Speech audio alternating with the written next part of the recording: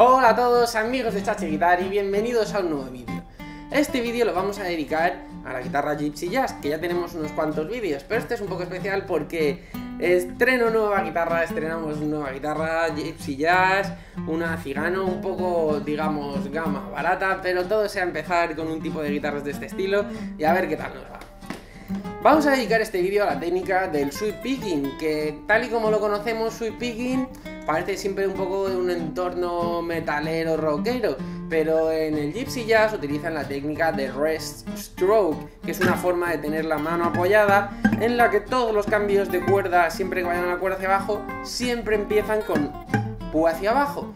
Y eso hace que en muchos cambios y sobre todo en arpegios acaben haciendo lo que hoy en día conocemos como sweep picking. Realmente todo es sweep picking prácticamente en el Gypsy Jazz. Durante escalas, durante arpegios, está muy lleno de sweep picking. Y lo podéis oír en cualquier disco, en cualquier cosa de Django, va a tope. Así que vamos a utilizar un ejemplo que yo creo que es de los que mejor quedan y sobre todo mejor hace entender esta técnica. Recordad como siempre que tenéis el tab en nuestra web y podéis verlo siguiendo el link vamos a estar en el acorde de Sol mayor sexta. Y nuestro lick va a ser este, este patrón de arpegio.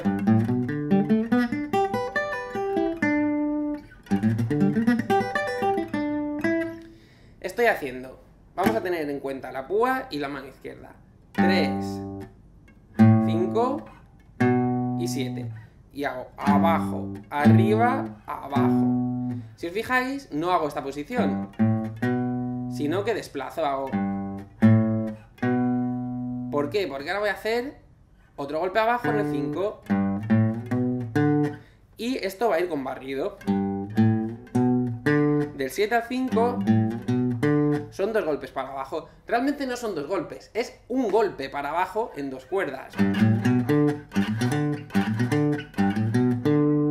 Y si esto lo hemos entendido, es genial porque vamos a hacer exactamente lo mismo pero en la cuarta cuerda.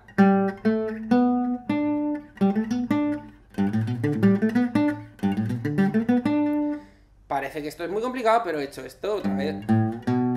Solo que partiendo de aquí.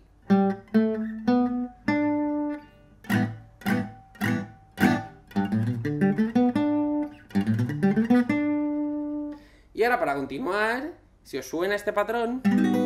Uy, equivocado. Ahora sí. Es un sol mayor y es justo en donde estamos. Así que lo rematamos con traste 8, 7 y 10. Ya tendríamos abajo, arriba, abajo, abajo, abajo, arriba, abajo, abajo, abajo y abajo y arriba.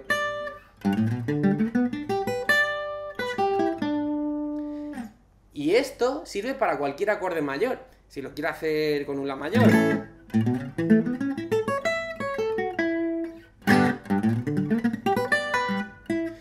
Genial dentro del entorno Gypsy Jazz, pero también si estamos metaleando y hay acordes mayores, por ejemplo... No hay ningún problema en poder meterlo.